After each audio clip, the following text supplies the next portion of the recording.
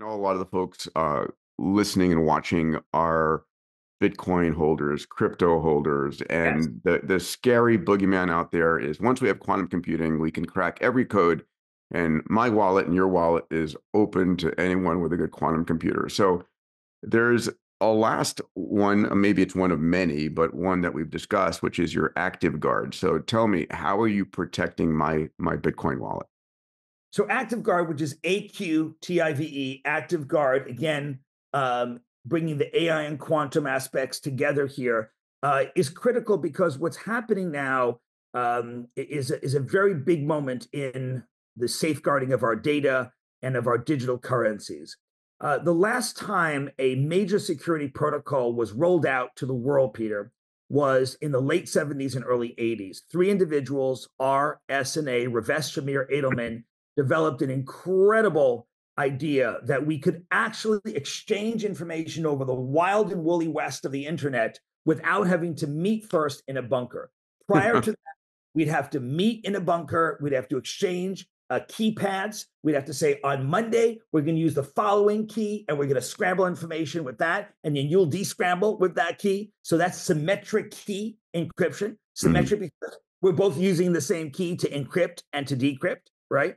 And that's how we did things in World War One and World War Two, and that's how Caesar did it with the Caesar cipher. The back- Enigma code and all, yes. yeah, all that stuff, symmetric key. But we know the limitations of that because if we had to pay for everything on Amazon that way, we'd have to fly to Seattle every time we wanted to do exchange uh, the keys, go back, then use our credit card with that, and then somebody might find that key and go from there. But what RSA gave us is asymmetric keys. And so the private key is different than the public key. And so by doing that, I can find Amazon's public key. I can my browser can grab it. It encrypts my credit card with Amazon's public key. I send it to Amazon, and they use their private key to now decrypt it and uh, charge my credit card, which makes me very, very happy.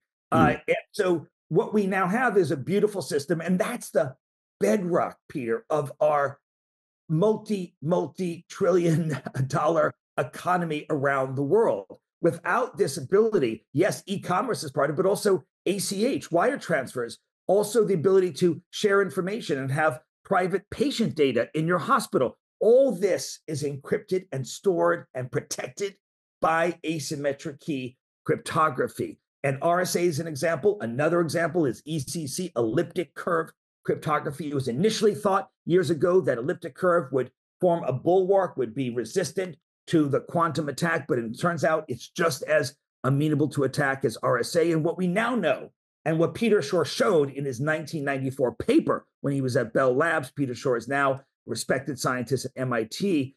And what he showed uh, in his 94 paper is that ultimately quantum computers will crack, will bring down RSA, ECC, and the other asymmetric key protocols that we use every single day in our phones. When you use WhatsApp and it says encrypted end to end, what Mm. is that encryption? That is this asymmetric key encryption we're talking about here right now.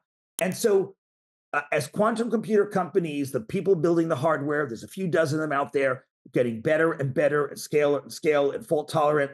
We're getting closer to Q day. We're getting closer to that day when quantum computers will crack RSA and ECC. So the world, thank God, in this case, actually has been preparing. Um, the governments of the world, those of us in industry, academia, have been collaborating for eight years now, and uh, to find a new set of protocols that would resist this quantum attack. We call it PQC, post quantum cryptography. Other words, assume quantum is here in the post quantum world. How do we encrypt? And I'm happy to say that on August 13th this year, 2024, uh, just a bit, just about two months ago, in fact, the governments of the world announced that we now have standardized a set of PQC protocols. Uh, these are ways of encrypting using asymmetric keys, also private public, but in a way that is not using the number theoretic um, frameworks that we had back from RSA and ECC. In fact, they're doing it in such a way that is not amenable to quantum attack.